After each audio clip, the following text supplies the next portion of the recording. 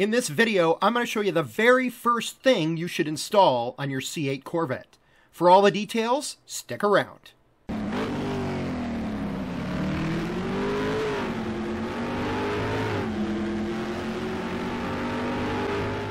So one of the items I consider a design flaw in the C8 Corvette has to do with these front radiators. And you notice, of course, there's one here on the driver's side, and as I come around, you'll see there's one also on the passenger side.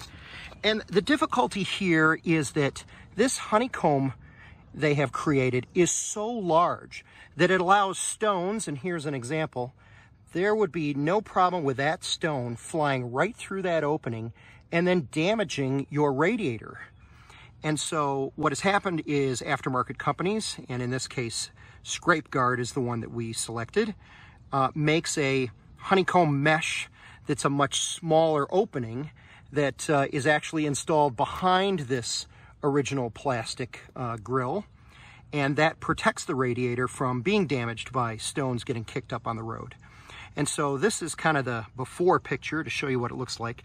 Now I'm going to insert a little video right here from a 2021 convertible that I drove.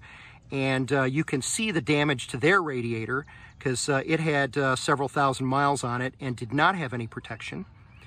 And so this is the before picture, and now we're going to take it to George Matick Chevrolet in Redford Township, Michigan tomorrow, and they are going to install the scrape guard radiator guards, uh, scrape armor, pardon me, radiator guards, and then we'll show you what the um, what it looks like when it's done. So my kit from Scrape Armor with the radiator guards arrived yesterday. So let's open up the box and see what we got inside. So this top layer I'll just pull it out. This is um, your installation instructions. This is your uh, toolkit. And then you can see it's got a variety of metal brackets that are used for affixing it to your C8 Corvette. I'm going to set that aside.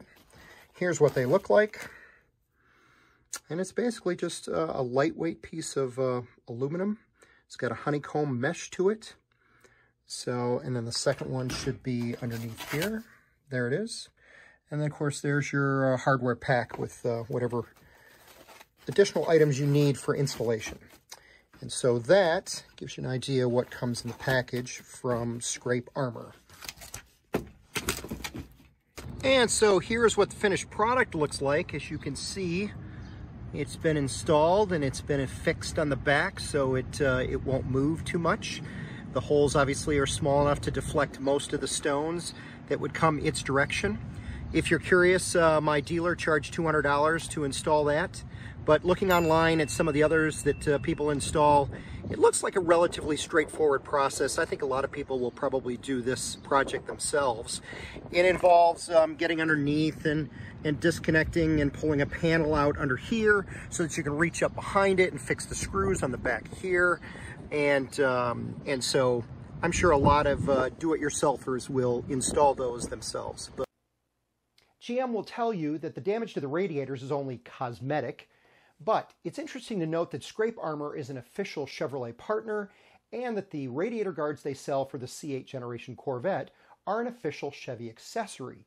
Now, there are other companies making radiator guards for C8s, but I believe Scrape Armor is the only one that's officially recognized by Chevrolet. I would also suggest you order them before your car arrives, as at the time in June of 2022 when our 2023 Corvette arrived, Scrape Armor was out of stock and we had to put in an order directly through their website in order to try and get them. Now, our dealership, Matick Chevrolet, also tries to stock that product, but they also had a number of them on back order at the time. Now, if you're someone who's worried about the airflow to the radiators when you track your car, I wouldn't concern yourself with it. The Ron Fellows Performance Driving School at Spring Mountain in Las Vegas uses them on all their C8 track cars. I figure if it's good enough for them, it's good enough for the rest of us. My name is Tom Straub. You've been watching Find the Right Road. If you enjoyed this video, please click the like button and consider subscribing to my channel. Thanks, and we'll catch you next time.